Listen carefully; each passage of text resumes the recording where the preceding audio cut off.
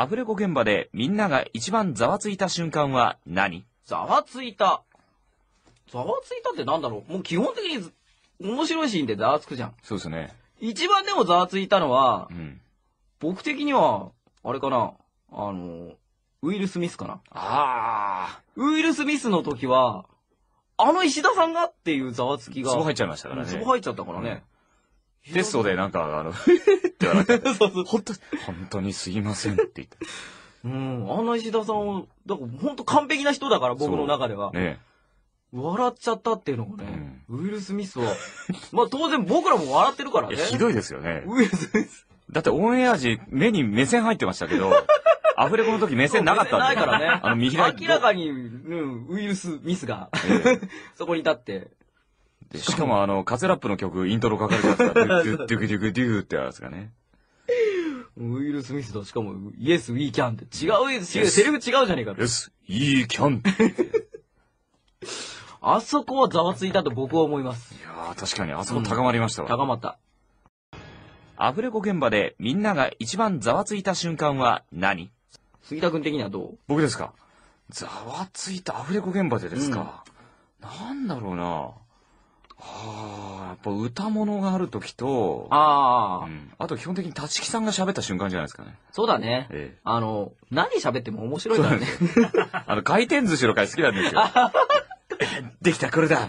なんでカッパ巻きなんだよっていう、あの、あの回なんだろうね。立木さんのあの、やりきった感の声と芝居と、できたって。これだ。なんでカッパ立木さんです、面白いの。立木さんが面白い。面白いになっちゃったよ。えー、そんな感じですよ。銀玉カルトヒュー問題。長谷川さんがグラサンをかけている時の戦闘力は、何654枚分でしょうか？あれでいいんだよね。うん。うん、杉田君どうぞ。じゃあ、えっと、じゃあ、僕は当てに行きます。はい、当ててください。うん、えっと、あれは走行版ではない。高速具だったのよ。当て、当たってねえだろえ、本当ですか？真の力をこう、押さえつけるためのものだったんですよ。まあまあまあまあ、別番組では合ってるけどね。隣で伊吹さんが、うわだから。って、あれは本当は胃液が出すぎて早く肉食いたいっていう、あの上なんですよ。伊吹さん。違うから。違いますか？違うね。はい。かなかなり番組違うね。ええ。うん。なんだろう。残白刀？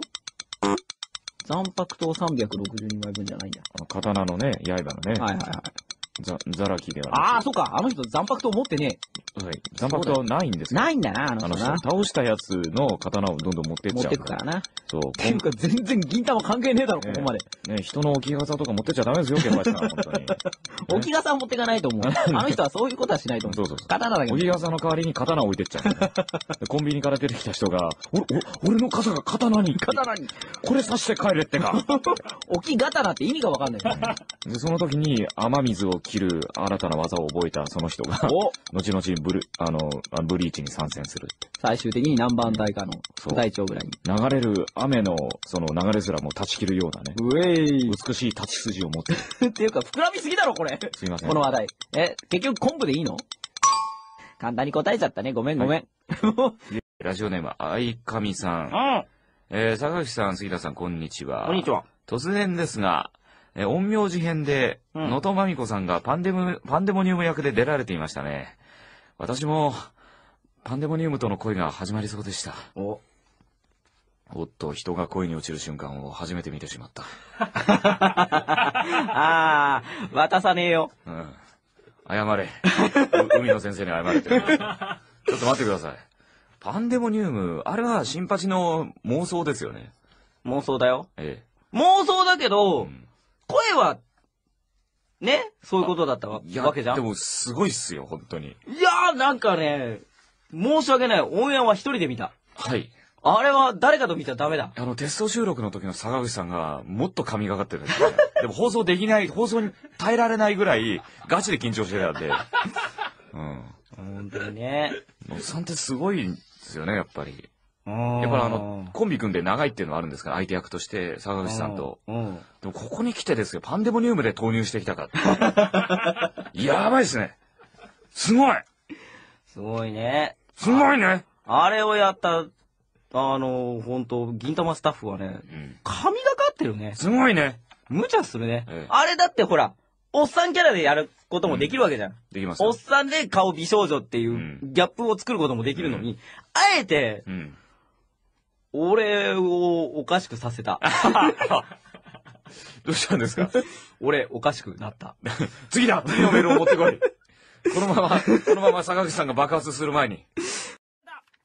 三つ目のテーマは、いつもド S な沖田が言った意外な一言とは？えー、極上のド S キャラ沖田ですが、そんな沖田が一体どんなことを言ったのか、こちらは鈴村くんに紹介していただきましょう。ここで銀玉らしさの帳尻が合うわけですね。もう最終的にもう、尻さえ合ってれば。なるほど、はいなるほど、分かってきたぞ。うんじゃあやってみましょうか。はい。ラジオネーム白玉さんからいただきました。はいド S な沖田の意外な一言とは？シャンパンの線抜く係変わってください。あ、あれも技術いりますよ。こえさあ、ここ難しいな。え難しいですよ。要するにシャンパンの線を抜く係を変わるってことは、抜くときに誰かに向けるみたいなことでしょ？パーンってぶつけるわけですよ。そういうことでしょ、ちゃんとやっていこう。わかりました次、次全力で次、次、頑張ろう。次、はいもう頑張ろう。先生です。はい。じゃあ次は、ラジオネーム、えー、ひかべみかんさんからいただきました。ド S な沖田の意外な一言とは？虫歯を削り終わるまで、ずっと手握っててください。ああ、意外だ。あ意外だ。意外だあ。あの、今、今俺気づいたんだ気。づいた。今気づいた。これ意外な一言だ。意外な一言。だからさっきのシャンパンも怖いんだよ。怖いんだ。抜くのが怖いんだよ。そうです。あ今、カンペ、そうです出てカンペ刺された。意外だって、ほら。ほら。意外。だから俺頑張ってるけど、外の人はな何言ってるんだろうな。そういう感じになってたんそ、だそこに気づきましたか？あ。俺だけだここ。に気づきました勘か。違いしてたの。あ、い意外だった意。外、意外。S なのにね。そしたら鈴村さんは自分をいたぶり始めるっていうね。もうだんだん行けばいいよ。だんだん行けばいいよ。S ね。え S、S なのね。次行こうはい次ね行こう。次行こうね。うん。ラジオネーム、浦木さんからいただきました。ド S の沖田の意外な一言とは？ちょ、なんだよ、母さん。ノックぐらいしろよな。え、S なのにね。ね。ノ親親には弱いんビですよ。クビクしちゃうんだろうね。親にはビクビクして。何してたんだろうね。いろいろビクビクしてたんですよしてたんだろうね。まだ、まだ子供だってことだよね。ですねいやー、まだね、あんな、すそういう、ね、すやつなのにね。撃ったりね、すんのにね。あいつね。なんか老人みたいな人がいるね。ちょい意外だこれ、それ、ね。あれって。マジびっくりした俺も。ちょい意外だわ。なんで東幹久みたいな感じだったんですか？妻みたいな。こんなんだっけこれは、ちょっと俺は、大やけどだな。ね。うん。これはすごいわ。ごい大惨事っていう。大惨事だ。ね。ええうん。もうほんと怖い。はい。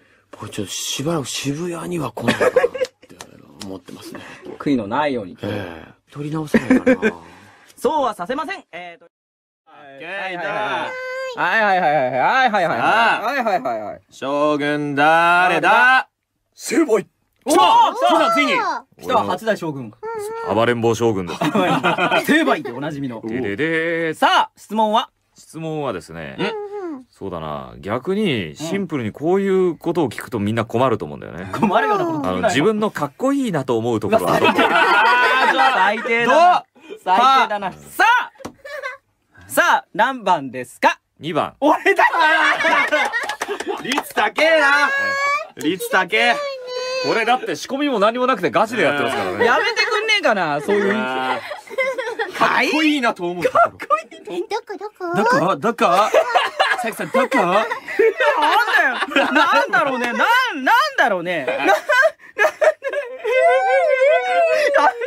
言いづらいわ、この雰囲気。なんつう質問。おい、なんだろう。かっこいいと思うとこ、かっこいいと思うとこなんかあるか？ああれ、あれですよ。おわかりませんね。えー、っとね、性格かな。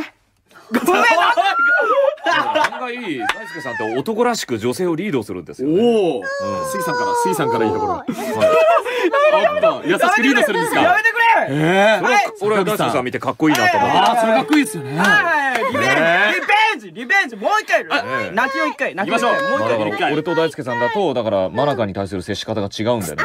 全然それは違うよね。大輔さんかっこいいわ。ひどい。ね、あえて怒らしたりとかひどい付き合い方する。さあ将軍様誰だ？